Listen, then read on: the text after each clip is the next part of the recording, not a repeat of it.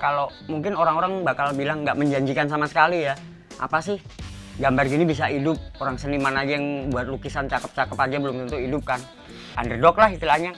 Ya gambling sih sebetulnya saya waktu itu. Cuma saya yakin di situ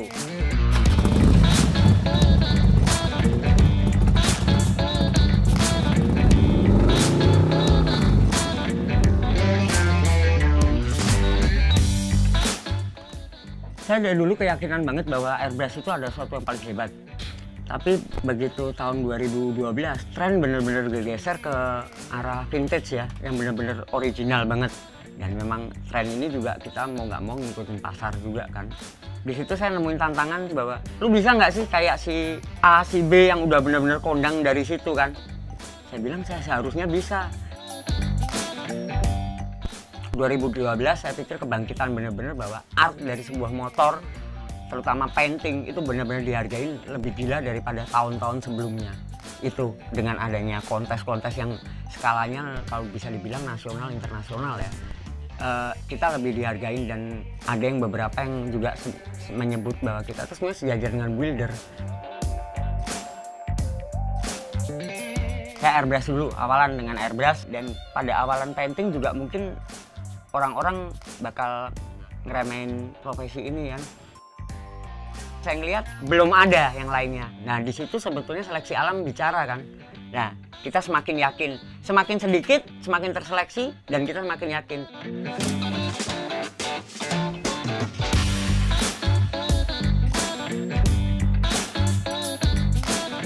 Art dari sebuah motor ini bukan cuma di bentuk motor aja, tapi dari paintingnya juga itu. Motor lu ini udah cakep nih bangunannya, tapi lu nggak pernah kasih baju nggak pernah di paint atau di apa. Uh, nilai lebihnya nggak bakal ada motor ini. Painter pun tanpa builder ya motor standar digambarin doang.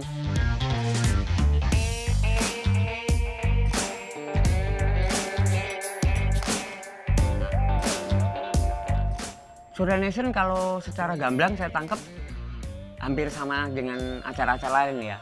Tapi yang lebih kalau kita cermati lebih lengkap Indonesia lebih mengedukasi karena di situ dimunculin talent builder yang bisa mereka sharing dengan audiens langsung yang datang ke situ.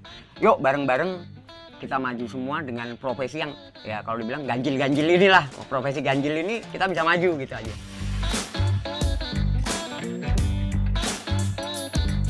Indonesia sendiri bagus-bagus dan lagi sekarang ya mas ya lebih banyak yang muda-muda ngeri deh ngelihatnya. Mereka lebih lebih serem sebetulnya gambarnya. Cuma kadang-kadang mungkin belum nemuin style mereka. Dan kalau mereka nemuin style walaupun nggak terlalu bagus saya percaya deh orang lebih interest ke style mereka sendiri itu genuine itu. Yang murni memang goresan mereka kan style mereka.